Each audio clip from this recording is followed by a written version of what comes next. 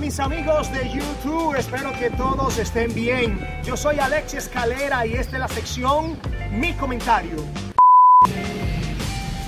Y el momento es preciso para recomendarte que me sigas en cada una de mis redes sociales.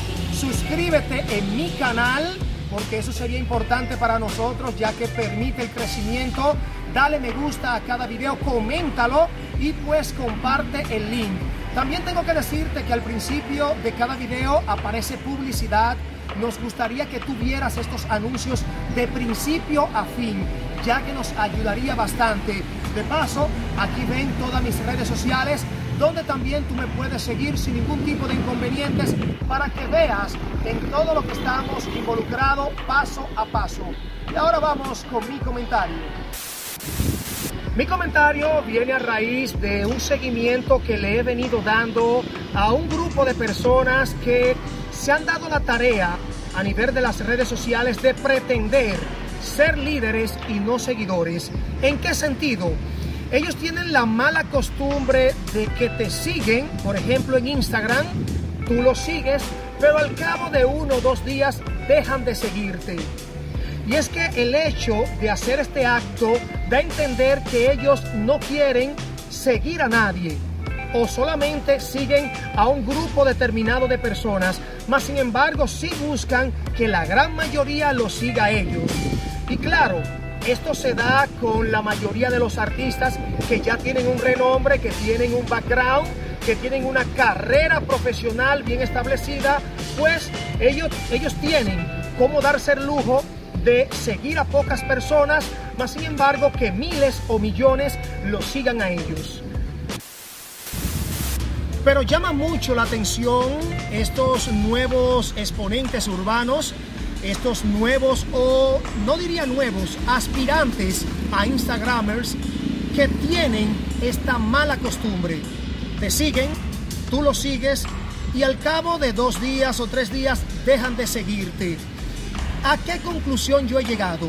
Bueno, yo soy de los que digo que si mi contenido no te interesa porque me dejaste de seguir, ¿para qué carajos me tiene que interesar entonces el tuyo?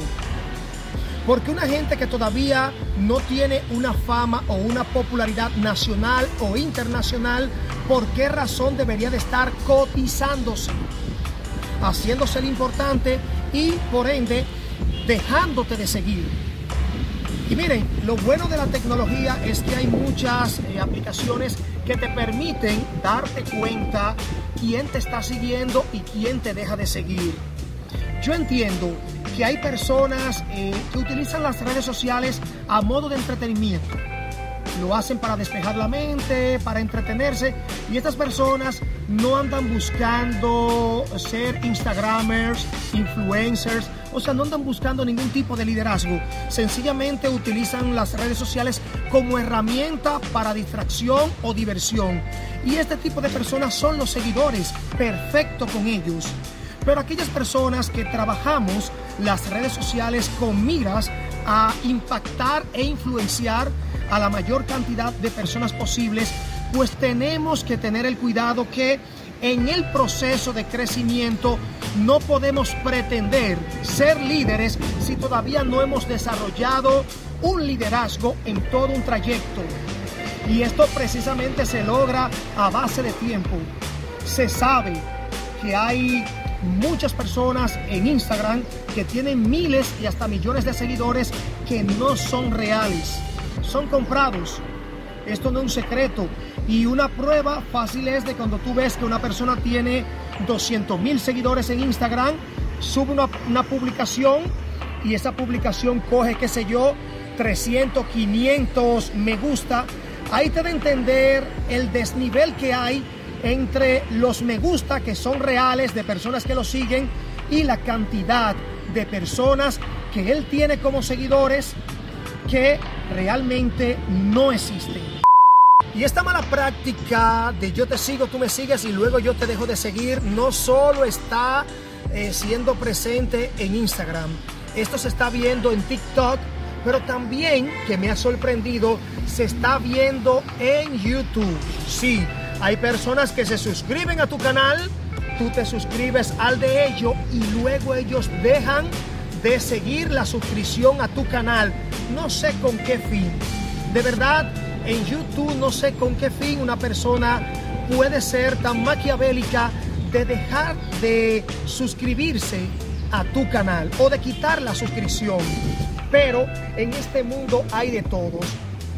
El consejo está dado. Camine su proceso, vívalo.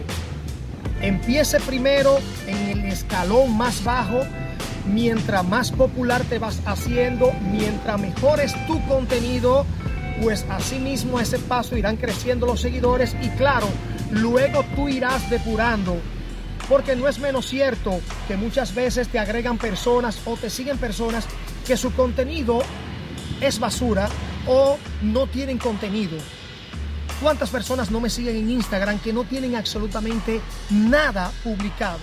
Pues yo entiendo que ese tipo de personas sencillamente lo tengo como seguidor, no lo tengo como una persona a la cual yo también debería de seguir porque no hay nada atractivo en su perfil para yo tenerlo como, como una persona a quien yo seguir.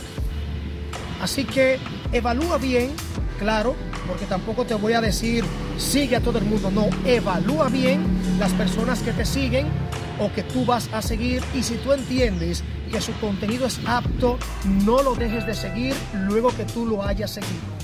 Porque esta práctica es fea, aparte de que aquellos como yo que puyamos mucho las diferentes aplicaciones, fácilmente nos podemos dar cuenta quién nos ha dejado de seguir. Y por ende, pues, en algún momento determinado, cuando nos damos cuenta, hacemos lo mismo y estamos en paz.